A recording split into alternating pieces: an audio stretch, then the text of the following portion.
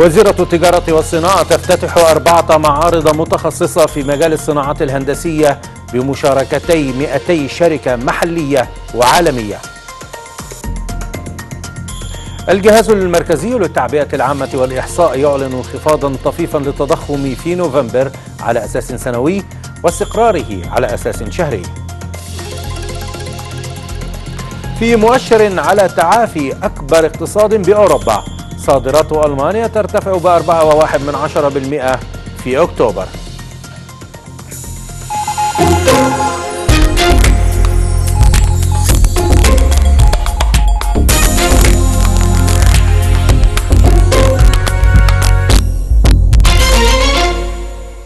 أخبار المال والأعمال أخبار الاقتصاد في نشرة اقتصادية مفصلة من النيل. أهلا بكم.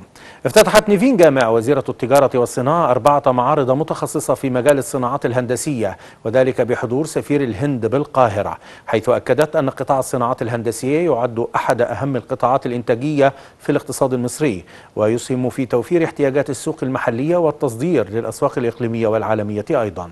وأضافت الوزيرة أن الصادرات المصرية لقطاع الصناعات الهندسية والإلكترونية بلغت خلال تسعة أشهر من العام الجاري نحو ملياري 294 مليون دولار مقارنة مع مليار و612 مليون دولار خلال ذات الفترة من العام الماضي بزيادة قدرها 42%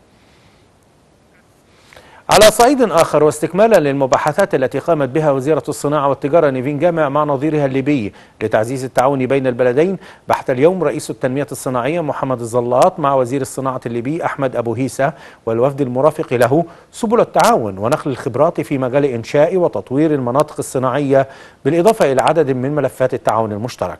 أكد وزير الصناعة الليبي خلال الاجتماع حرص بلاده على تعزيز الشراكة مع الدولة المصرية في كافة المجالات الصناعية والتنموية أيضا مثل مجالات تعميق التصنيع المحلي ونقل وتوطين التكنولوجيا بالإضافة إلى التدريب. بحث المهندس طارق الملا وزير البترول والثروة المعدنية أهمية مشروع مجمع البحر الأحمر للبتروكيماويات في المنطقة الاقتصادية لقناة السويس والذي تقدر استثماراته بحوالي السبعة ونصف مليار دولار لما سيحققه من فائدة كبيرة وقيمة مضافة من ثروات مصر الطبيعية.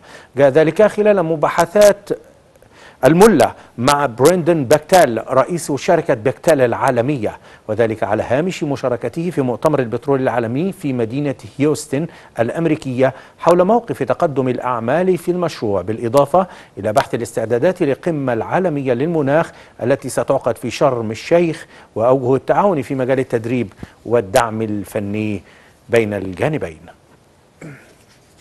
بحث الرئيس التنفيذي للهيئة العامة للاستثمار والمناطق الحرة في ثاني أيام زيارته للعاصمة المجرية بودابست.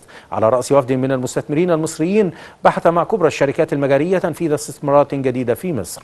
كما تم خلال, الزي... خلال الزيارة عقد لقاء مع بنك التصدير والاستيراد المجري الذي يقدم الخدمات التمويلية الشركات المجرية التي تستهدف الاستثمار في الخارج حيث بحث الجانبان سبل تقديم الدعم اللازم لبدء نشاط هذه الشركات في مصر بما فيها التسهيلات والحوافز التي تقدمها هيئة الاستثمار. عقدت الدكتورة رانيا المشاط وزيرة التعاون الدولي اليوم مع المديرة التنفيذية للبنية التحتية المستدامة بالبنك الأوروبي لإعادة الإعمار والتنمية بحث اجتماعا افتراضيا لبحث فرص التعاون في مجالات التحول الأخضر والطاقة النظيفة. وأكدت المشاط خلال الاجتماع أن قطاع الطاقة المتجددة يعتبر أحد أهم محاور استراتيجية الحكومة لتحقيق التحول الأخضر ومكافحة الآثار السلبية للتغيرات المناخية حيث تسعى الحكومة لإصدار أول سندات خضراء بالمنطقة بقيمة 750 مليون دولار ما يعزز ريادة مصر الإقليمية للتحول للاقتصاد الأخضر. أشادت وزيرة البيئة ياسمين فؤاد بجهود الدولة الفرنسية في الدفع باتفاق باريس للمناخ ودعم أجندة المناخ وحقوق الدول النامية في إجراءات عادلة ومتوازنة مشيرة إلى التشابه الكبير في الرؤى المصرية الفرنسية لضرورة الربط بين تغيير المناخ والتنوع البيولوجي. جاء ذلك خلال لقاء الوزيرة مع السفير الفرنسي بالقاهرة لبحث أوجه التعاون في مشروعات البيئة واستضافة مصر لمؤتمر المناخ العام القادم في شرم الشيخ. إلى البورصة المصرية التي تباينت مؤشراتها قبيل ختام تعاملات جلسة اليوم الخميس وهي آخر جلسات هذا الأسبوع. وسط عمليات بيع من قبل المستثمرين المصريين قابلتها مشتريات للمستثمرين العرب والأجانب. وبلغ رأس المال السوقي لأسهم الشركات المقيدة مستوى 729.6 مليار جنيه. بعد تداولات كلية بلغت بال 4.5 مليار جنيه. المؤشر الرئيسي للبورصة EGX 30 صعد بنحو 79 من 100% بينما هبط مؤشر الأسهم الصغيرة والمتوسطة EGX 70 بنحو 26 من 100% من قيمته. إلى ألمانيا حيث أظهرت بيانات اليوم أن الصادرات الألمانية زادت بأكثر من المتوقع كثيرا في أكتوبر بالرغم من استمرار اختناقات الإمدادات في قطاع الصناعات التحويلية ما يشير إلى أن أكبر اقتصاد بأوروبا قد يكون في طريقه للتعافي. وقال مكتب الإحصاءات الاتحادي أن الصادرات زادت عشر بالمئة على أساس شهري بعد انخفاضها في كل من أغسطس وسبتمبر. وشهدت الواردات أيضا قفزة فاقت التوقعات. إذ ارتفعت 5% بعد زيادة 4 من 10 في المئة في الشهر السابق في قراءة شهدت تعديلات طفيفة. على صعيد آخر هدد المستشار الألماني الجديد أولاف شولتز بعواقب محتملة على أنبوب غاز نورد ستريم 2 الذي تعول عليه روسيا لإمداد أوروبا بالغاز الطبيعي في حال حصول تصعيد عسكري روسي ضد أوكرانيا. وردا على سؤال حول ما إذا كان مستعدا لاستخدام أنبوب الغاز كورقة ضغط على, ضغط على موسكو في حال غزت القوات الروسية أوكرانيا قال تشولتز في أول مقابلة تلفزيونية له بعد تسلمه مهام منصبه أن موقف بلاده واضح جدا وأنها تريد سياسة احترام الحدود من قبل الجميع وأن يفهم كل طرف أن في حال لم يحصل ذلك فستكون هناك عواقب على صعيد متصل قال المتحدث الصحفي باسم الرئاسة الروسية الكريملين ديمتري بيسكوف إن الرئيس فلاديمير بوتين لا يستطيع إعطاء البنك المركزي تعليمات أو إشارة لرفع سعر الفائدة الرئيسي في البلاد لمعالجة التضخم. وأوضح بيسكوف أن البنك الروسي المركزي وحده هو من يملك حق القيام بذلك مضيفا أنه يمكن معالجة التضخم ودفعه للمستوى المستهدف بطرق مختلفة. وكان الرئيس الروسي قد طالب بعودة مستوى التضخم العام القادم إلى المستوى المستهدف والبالغ 4%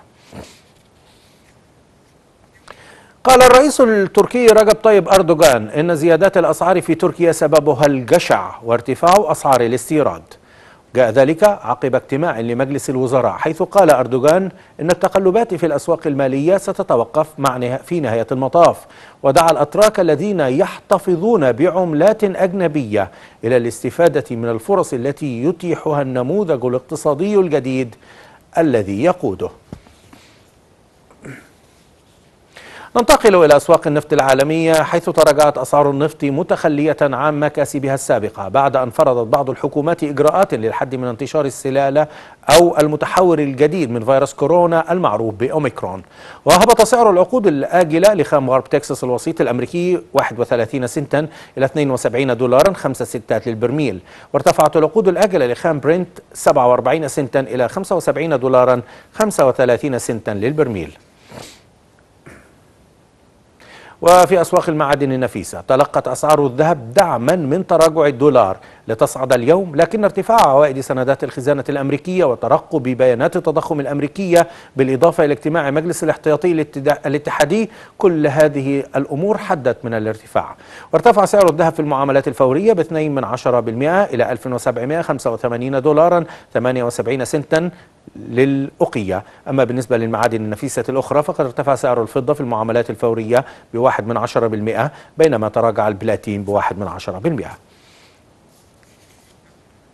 هذا وفي سوق النقد الأجنبي. استقرت أسعار اليورو والجنيه الإسترليني والدولار اليوم وسط آمال بأن تتمكن بعض اللقاحات المضادة لكوفيد 19 من تحييد أوميكرون المتحور الجديد من فيروس كورونا حيث يقول المحللون إن الاهتمام ينصب من جديد على السياسة النقدية. وهبط اليورو ب 2 من 10% إلى دولار 13 سنتا لليورو وارتفع مؤشر الدولار ب 15 من 100 بالمئة إلى 96 و82 من الألف واستقر الجنيه الاسترليني مسجلا دولارا و32 سنتا بعد أن بلغ انخفاضا قياسيا جديدا هذا العام. وفي أوروبا ارتفعت الأسهم الأوروبية قليلا اليوم بعد أن هدأت تصريحات إيجابية من شركات مصنعة للقاحات بعض المخاوف المتعلقة بأوميكرون المتحور الجديد من كورونا. في حين تراجع سهم دويتشا بانك بعد تقارير عن أنه ربما انتهك تسوية جنائية. وصعد المؤشر ستوك 600 الأوروبي بثلاثة من عشرة بالمئة كما ارتفع مؤشر داكس الألماني بواحد من عشرة بالمئة. وارتفع مؤشر كاك الفرنسي بنسبة ثلاثة من عشرة في المئة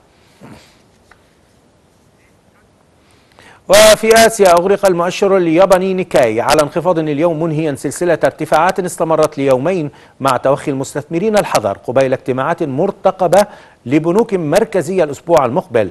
وأغلق نيكاي على انخفاض ب 47 من 100% وواصل المؤشر التوبكس الأوسع نطاقا انخفاضه كذلك فهبط ب 57 من 100% من قيمته.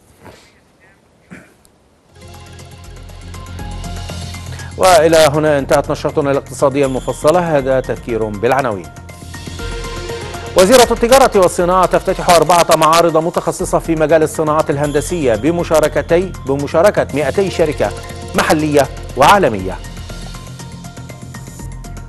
الجهاز المركزي للتعبئة العامة والإحصاء يعلن انخفاضا طفيفا للتضخم في نوفمبر على أساس سنوي واستقراره على أساس شهري.